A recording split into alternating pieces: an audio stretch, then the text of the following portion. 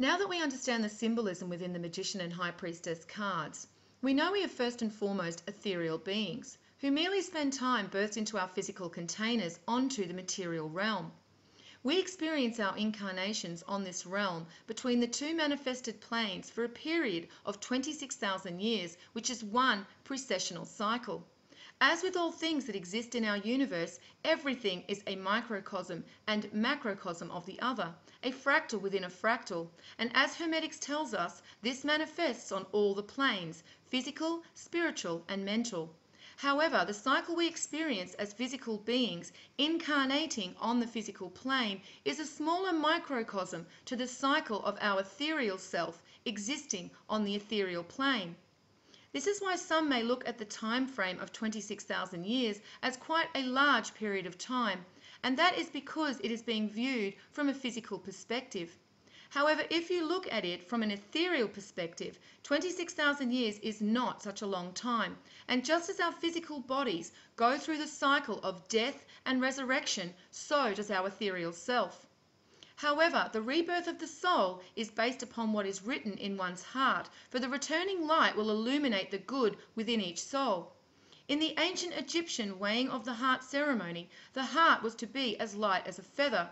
However, in this instance, light does not just equate to weight, but also the light of Osiris, Orion. As we saw in the previous video regarding the Fool card, the feather is symbolic for Orion, God consciousness, and also the changing angles of light. We are birthed from God consciousness in our true state of being in our ethereal form. And as shown in the Fibonacci sequence and golden mean, we then split into male and female upon creation. Now that we have been manifest from God's mind, we are bestowed with physical attributes representing the container in which our ethereal being will be birthed into. These attributes are symbolized by the cards number three, the Empress, and four, the Emperor. So let us now look into what the symbolism reveals in these two cards about the male and female divine twin souls.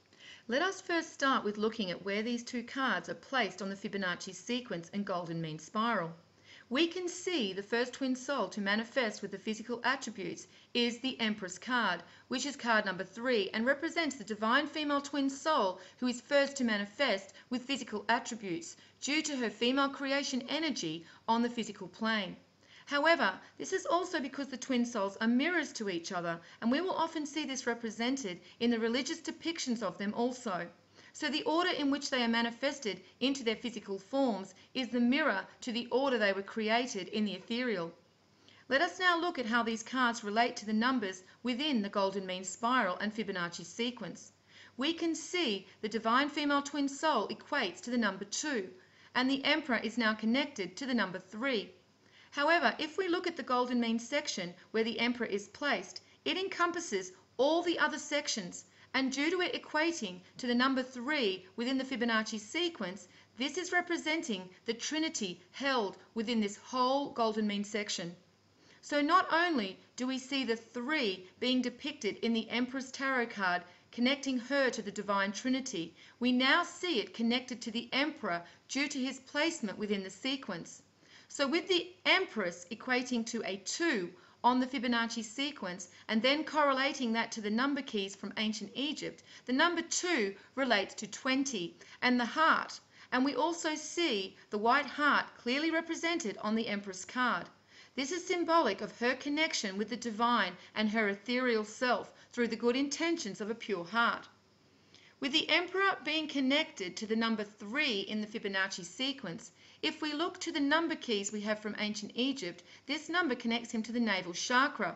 The energy aspects within this chakra, when related to the number 3 instead of 11, are more connected to the sun. And there is a very strong connection to the sun and this chakra, and this is why it is also called the solar plexus.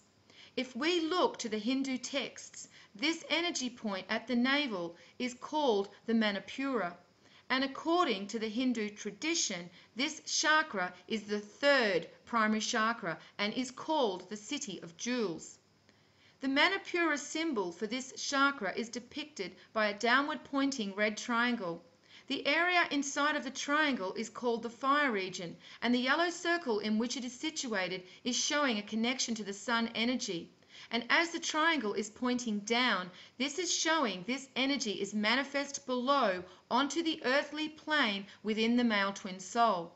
This triangle is also representing the Trinity birthed onto the physical plane, for within every soul is a part of the other as well as the divine.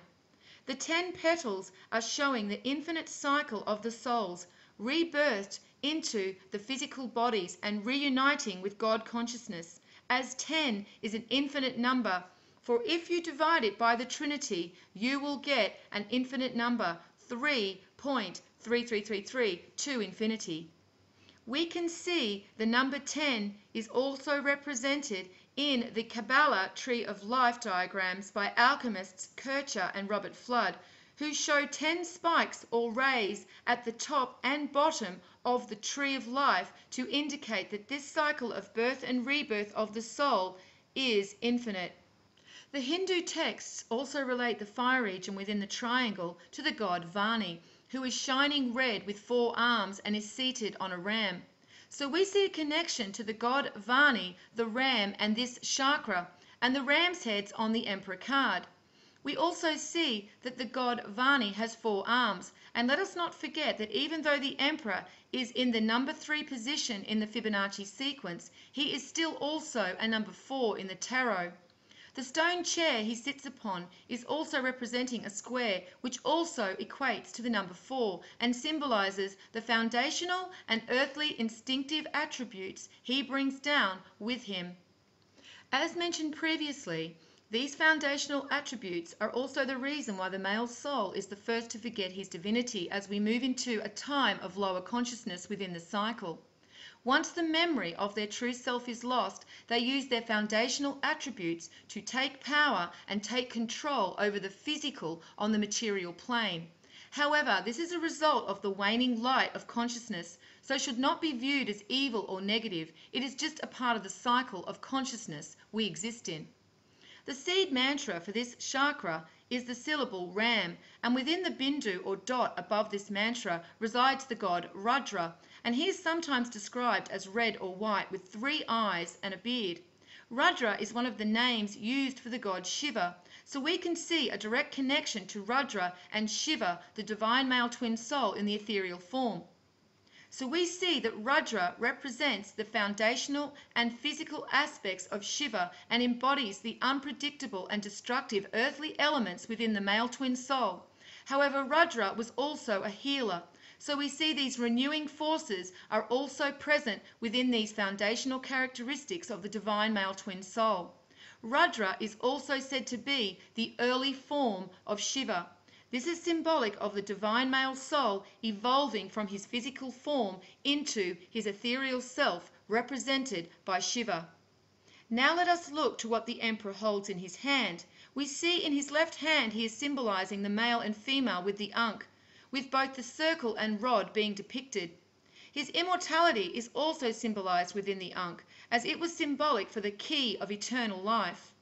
The orb in his right hand is known as the globus cruciger and was said to show one who had complete dominion over all. In ancient times the orbs were held by priests as a symbol of the sun and its power. However, the real truth has been obscured, and the orb is actually symbolic for the receptacle of the divine knowledge he holds within him.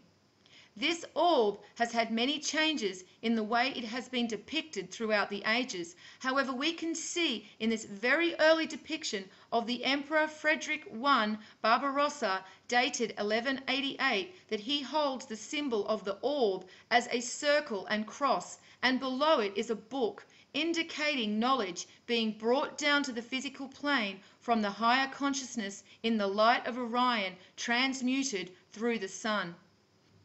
We also see in this painting by Leonardo da Vinci that the orb is clear, representing that the Holy Spirit that brings in higher consciousness is not definable. The five gems on his crown show that his divinity is in his destiny, for the number five relates to the agreement or covenant with the divine made by the soul. For the soul's potential is known to itself and God consciousness before it is manifest onto the physical plane. In James 1:12 it states, "Blessed is the man that endures trial, for when he is tried, he shall receive the crown of life, which the Lord has promised to them that love him." We also see this Bible verse is 1:12, which equates to the number 4. Once again, the Emperor Tarot card is a number 4. Now let us look to the Empress card in more detail. Firstly, we see that the earthly plane is not shown as rugged and harsh as it was on the Emperor card. And this is because the divine female soul has a natural connection to the higher energies of Mother Earth, symbolized by the seven tree peaks. For the number seven is connected to the ethereal and higher states of being. The eight pearls on her necklace are symbolic of her immortality. She has 11 stars on her crown, and this is showing the connection to the creation aspect within her on the material plane, as 11 is connected to the manifesting of souls onto the physical plane. She also holds her scepter higher, again showing her connection to the ethereal. The scepter is also representing the rod and the male twin soul, and the circle at the end of the pillow is symbolic of the ring and the female twin soul. We also see at the top of her scepter there is the same orb that was on the Emperor card, symbolic of the divine knowledge he holds within him. The illumination of divine knowledge within the female twin soul is symbolized by the pomegranates on her gown. These were depicted on the curtain in the previous card, the High Priestess, but now she wears them on her garment. These pomegranates are showing the female twin soul's understanding of the Torah and the divine knowledge which it represents. She also sits upon a white heart, showing again she is close to the divine. And we see the symbol for Venus is shown within the heart. Aphrodite is a goddess connected to Venus, and her other symbols are the dove and the pomegranate.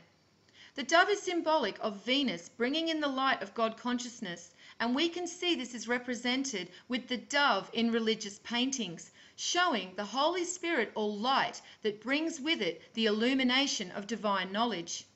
Aphrodite's symbols also included wheat, and we can see wheat is depicted at the bottom of the Empress card.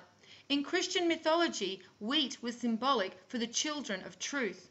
And in Matthew 13:24, Jesus said, "The good seed, the wheat, are the children of the kingdom, the product of truth, which the sower had sowed."